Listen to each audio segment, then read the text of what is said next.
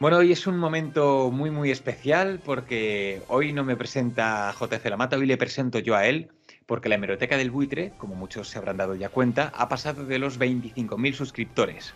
Quieren saber más de él, quieren saber más de él. Y es por eso que yo he preparado este especial de 50 preguntas a mi buen amigo JF Lamata. ¿De acuerdo? 51. Pues vamos a ir rápido para que la gente no se muera. Eh, ¿De dónde viene el apelativo el buitre? De que la información, nos decía en la universidad que una vez ha pasado el día, la información ya está muerta.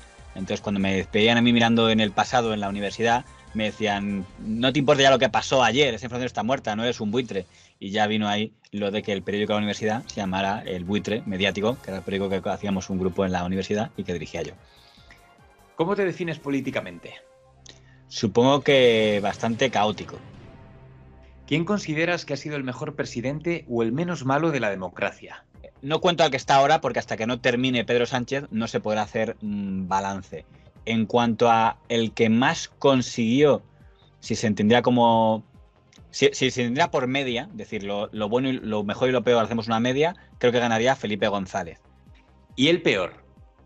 Y aunque parezca muy injusto y creo que eso ha decidido cosas fantásticamente bien, como es una transición, creo que las cosas peores que tenemos son también de esa etapa, así que creo que probablemente él también ganaría ahí. Dices, me estás hablando de... De el Duque de Suárez. Bien. ¿Quién es tu referente periodístico? He cambiado. Si me hubieras preguntado siendo más niño, te hubiera dicho que Raúl Eras, eh, en eso entonces me gustaba más el periodismo de datos que el periodismo de tal. Si te voy a coger referente ahora, cogería, por ejemplo, no sé, por ejemplo, Joaquín Estefanía, por ejemplo, es uno que le haría mucho, ¿no? Eh, Muy bien, perfecto. ¿Están los medios de comunicación actualmente politizados? No más de lo que lo han estado siempre. Lo que pasa es que ahora está de moda decirlo. ¿Crees que en los medios se habla muchas veces sin saber? En los medios se opina muchas veces y cuando opinas está dando una parte de cosas que estás suponiendo. Y quizá a veces los límites de la suposición exceden lo recomendable. José Antonio Avellán es... Un showman. Alfonso Rojo es al que le debo mucho, pero que su personaje ha devorado al real. Javier García Isaac es un activista. ¿Cuál es el peor defecto que puede tener un periodista? Que el balance entre el nivel de protagonismo que se da a sí mismo supere al nivel de protagonismo que da la noticia. ¿Crees que hay algún periodista o profesional de los medios que debería haber sido inhabilitado? Creo que que a gente que los medios que se ha considerado que es periodista nunca lo fue. ¿A qué persona no viva te gustaría haber podido entrevistar? ¿A qué persona no viva? Empate al 50%, Santiago Carrillo y Manuel Fraga. ¿A qué persona viva te gustaría entrevistar? Por ejemplo, ahora me, me parecería interesante entrevistar a Manuela Carmena o a Íñigo Rejón, son dos figuras interesantes. Yo sé que tu hemeroteca es real físicamente. ¿Se la has enseñado a alguien alguna vez? Una vez una persona, que ahora está en Europa Press, un periodista, quiso saber si existía de verdad. Y debo decir eh, mi defecto que estaba en ese momento peor ordenada que ahora. Era un sótano y fue al sótano para comprobar que, que existía. Ahora está más digitalizada. vale. ¿El mundo del doblaje es? Un mundo de sueños y pesadillas. ¿Consideras que en el doblaje priman las relaciones sociales por encima del talento? No diría, sin talento no puedes eh, hacerte un hueco. Ahora bien, una vez partimos de un nivel de talento, es un valor, eh, los, contactos que tengas es una clave fundamental para decidir hasta qué lugar puedes llegar en el tablero de juego. ¿Qué te parece que Star Talents debuten en doblaje con papeles protagonistas? Teniendo en cuenta y que me encanta la animación y que, que es dificilísimo promocionar una película que esté fuera del universo Disney, me parece inteligente. Pero me parecería más inteligente aún que los colocaran en papeles que no les destrozaran. Porque en muchas ocasiones los han colocado en papeles que han destrozado la producción. Cuando es muy fácil colocar un Star Talent en un papel que te sirva para la promoción, pero no destroza la película. Un actor de doblaje. Más. Sería complicado, pero no sé por qué el primero que la primera voz que me ha venido a la mente cuando lo he dicho ha sido Nuria Trifol. Pero vamos, sería muy actor, actor. Sacándolo fuera de, Madrid para que no estemos contaminados, pues por ejemplo me gusta mucho el eh, Javier Viñas, es uno que me gusta mucho su, voz. Vale, un canal de YouTube que recomiendes. Pues eh, no de TikTok, porque digo TikTok. De lo que quieras. El de los cuentos de mierda de, de, de TikTok, ese lo sigo bastante. Está bien, sí, la gente debería suscribirse, efectivamente. Vale, gracias. Em, una película de imagen real. El Padrino. ¿Dirías que es tu película? Sí. ¿Una serie de imagen real? Estoy viendo la Stranger Things, la apruebo con un 5 pelado y conforme avanza va a peor. Pero bueno, es la última que, que he visto reciente. Vale. ¿Una serie de anime? Pero la, la que marcó mi infancia fue Digimon, la primera. Un libro. Antes he mencionado como me he hecho mejor periodista Raúl Eras. Raúl Eras tenía un libro que llama yo El Libro Gris, que su nombre no me acuerdo cuál es, Una- se llama el libro. Una novela. Ah, novela. Pues fíjate, te voy a decir los renglones torcidos de Dios. Y, y odié el final, y odié a Torcuato Luca de Tena, pero me tuvo, era muy niño, me tuvo tan enganchado de qué va a pasar, qué va a pasar, que luego cuando acá dije, menuda bazofia de final, te odio, pero es probablemente la novela que más me enganchó siendo, siendo chaval. Pero me acuerdo quizá por eso, me acuerdo más por el odio que porque me gustara, pero es lo que tiene. Y entonces sé que me quedó marcada. Un videojuego. Pero vamos, diría que el Super Mario World. ¿Por qué no te compras una consola? Porque soy muy malo en informática. Esta cámara que tengo tuvo que venir un tío a ponérmela porque yo no era capaz de hacerlo. ¿Un personaje de ficción? No sé, Etemón era un villano que me gustaba mucho, que era un mono rapero. Vale. ¿Un artista o grupo musical? Los Beatles. ¿Una canción? Nowhere Man. ¿Una habilidad secreta? Por cierto, han hecho la película y hecho El Padrino, eh, empate con Jerusalén Marín, que fue la primera película de animación que vi, que tú ya conoces. Pero me has dicho ahora. ¿Qué me has dicho ahora? Eh, Una habilidad secreta. yo, si yo no sirvo para nada. Sabes que se me daba bien antes moldear con plastilina. Hago, hago, tú ya lo sabes, yo antes de hacer animaciones hacía con plastilina muñequitos. ¿Un defecto? Solo uno, dejando al margen que ya he delatado eh, mi poca capacidad informática, supongo que eh, no soy capaz de. Soy la persona más antisocial que conozco. ¿Qué es lo que más valoras de una persona? Hombre, si me aguanta, ya gana muchos puntos. O sea, un trato duradero. ¿Qué no soportas de una persona? Que cuando se da cuenta que te ha hecho daño, le da igual. O sea, no que te haga daño, que eso todo el mundo puede hacerlo, sino cuando tú dices, oye, que esto me ha hecho daño, ya pues me da igual. Eso sí me ha dado rabia cuando, cuando me ha pasado. Una comida que adores. Uf, aquí gana la comida oriental de calle. Si es solo un condimento, es raro el día que no haya arroz en esta casa. Una comida que detestes. Me reconcilié, pero durante mucho tiempo tenía mucha tierra el calabacín y luego hice las paces con él. Curioso. Aparte de las cosas habituales, llaves, móvil, documentación, ¿sin qué no sales nunca a la calle? Me estoy curando, pero ante un tiempo sin mochila. Increíble. Usted influyó. ibas a decir los auriculares. Eso sigue, no, eso sigue, sigue. La mochila, ha- la, la mochila ha sido castigada recientemente, pero los auriculares no son castigados, esos se mantienen. Una fobia. Quedarme solo con una persona en un ascensor. Vale. Un sueño. Pues hacer algo relevante en las dos profesiones que han sido citadas. ¿Te gustan los animales? Sí, pero no tendría ninguno. Me gustan de lejos. ¿Has tenido alguna vez una mascota? No. En mi casa hubo unos peces y, y me traumatizó tanto cuando se murieron porque nos lo, nos lo dieron muertos, estaban enfermos todos y al día siguiente estaban todos muertos. Entonces me dio tal trauma que ya no hubo nunca más. Si no vivieras en Madrid, ¿te gustaría vivir en? Quizá por fa- factores sanguíneos en Manila, en Filipinas. Ujú. Em, ¿Qué opinas de el colaborador de este canal, Jaime Pérez de Sevilla? Que o mejor es dicho, Jaime Pérez de Sevilla es. un luchador. Es verdad que en todos los sentidos, porque practica boxeo y nos puede tumbar de una de media bofetada, pero además creo que es un luchador en todos los sentidos. Vicente Real, que soy yo, es, no lo digas porque esté yo delante, pero como colaborador me tengo que incluir. Alguien con una sorprendente iniciativa. Cuando yo ya creía que todo el mundo estaba para cogerse de hombres y decir, ve, yo a lo mío, resulta que era alguien que tenía ganas de hacer cosas. ¿Crees que este canal merece tener más suscriptores? Pues inicialmente pensaría que no, por, pero por los factores que representan las dos últimas preguntas que has hecho, te diría que sí. Y la última pregunta, ya terminamos. La hemeroteca del buitre es. Pues en el fondo es la pataleta, si se quiere, de alguien que quería, a pesar de todo, sentirse periodista. Muchísimas gracias, ha estado súper bien, me ha encantado. Em, ¿Cuál es tu segundo apellido? ¿Pero qué es esto? ¿Esto ya ha empezado el test? ¿Cuál es tu segundo apellido? Vela con B, no con V, eso es importante y lo tengo que matizar siempre.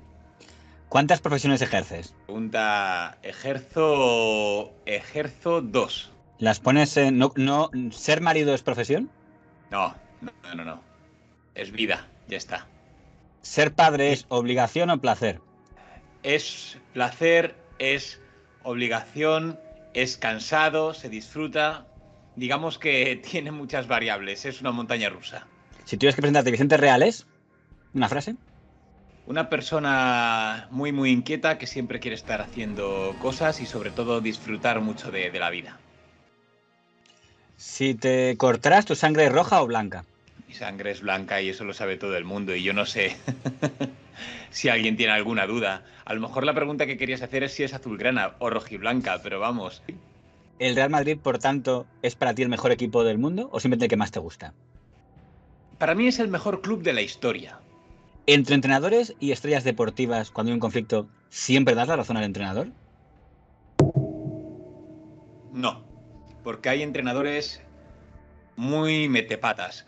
Celebraste la salida de Sergio Ramos, la de Messi, la de Cristiano Ronaldo. ¿Siempre celebras que se vayan las estrellas?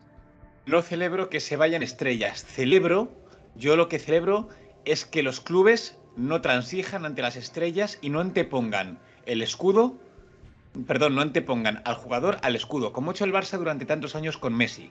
Lo políticamente correcto en la actualidad es despreciar a una figura como Florentino Pérez por lo que representa en cuanto a poder, poder deportivo, poder empresarial, incluso poder político.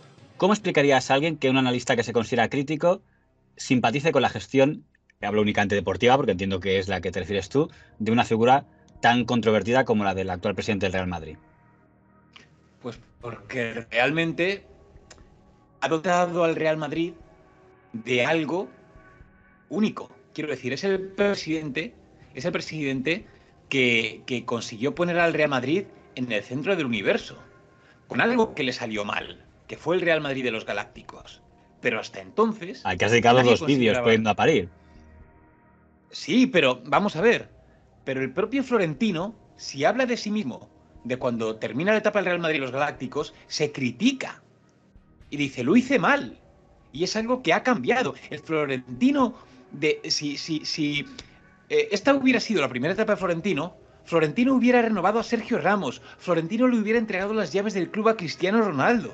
Segurísimo, segurísimo. Y no lo hizo. O sea, que toda es una diferencia entre el primer Florentino y el segundo Florentino. Absoluta y totalmente. ¿Por qué eres, si es que lo eres, anti-Ancelotti, como dicen algunos comentarios? No soy anti-Ancelotti. De hecho, Ancelotti me parece un gran entrenador pero creo que tiene un defecto muy gordo, muy gordo que detesto y que me pone muy nervioso. Ancelotti sí me gusta como entrenador, simplemente no me gusta, como digo, su obligación de la meritocracia con el tema de las vacas sagradas, que creo que le cuesta mucho quitarlas. Algo que, por cierto, heredó Zidane. ¿Con qué seleccionador de los que ha habido España, de los que, con los que has convivido, eh, te quedas más? Yo me quedaría...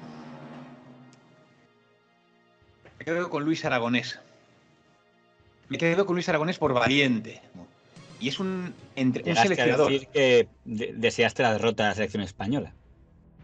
Sí, sí, a, a, ver, vamos a ver, es que ya la gente luego me empezó a tachar de anti-español, etcétera, etcétera.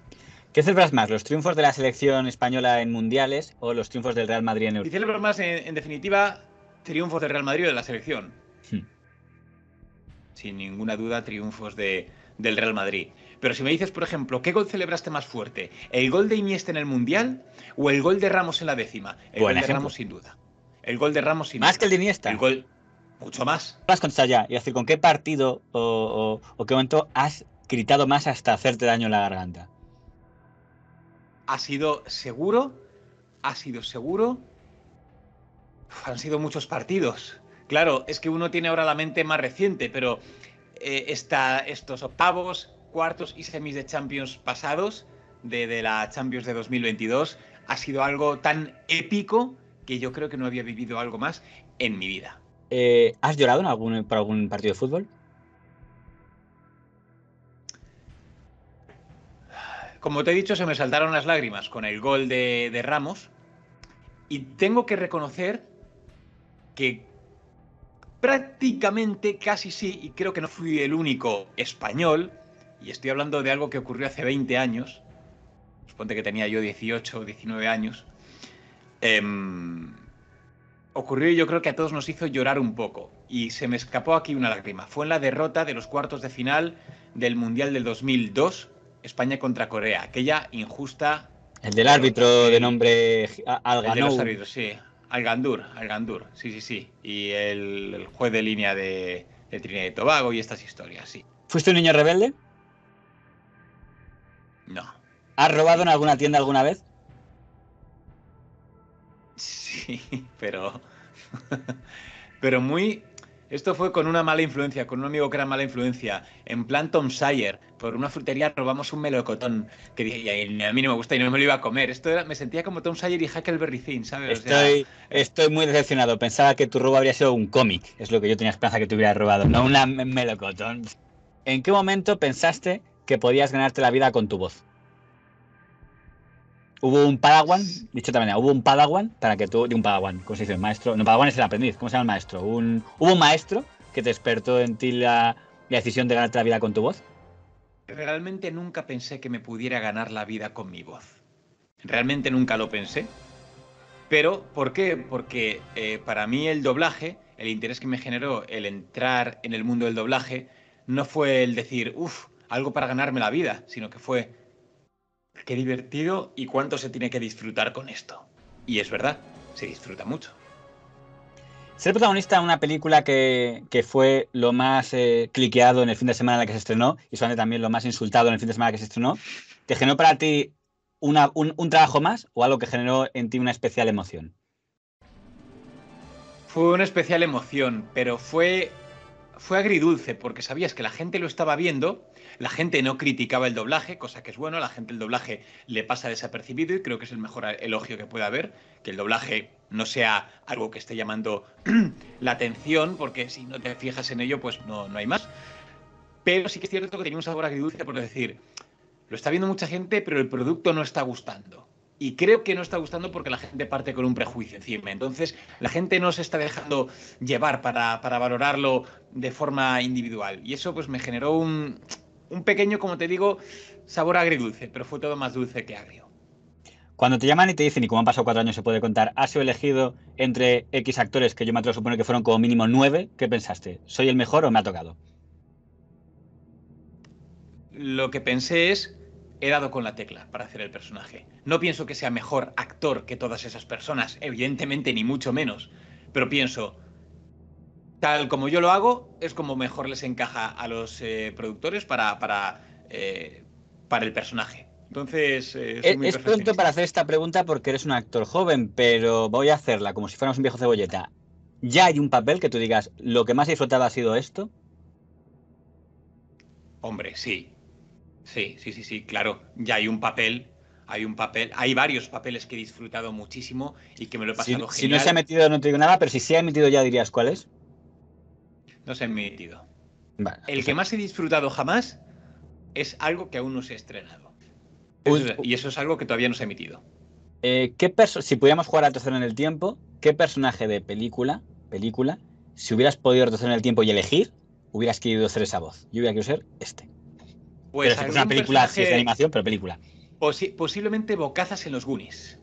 Misma pregunta para series de animación. Serie ¿eh? de animación tú, ¿qué hubieras querido hacer tú si hubieras podido elegir retrocediendo en el tiempo? Retrocediendo. Philip Callahan, Philip Callahan en Oliver y Benji. Nunca entenderé tu, fijación por Philip Callahan. Ni siquiera recordaba ese personaje hasta que hiciste el comentario de balanza.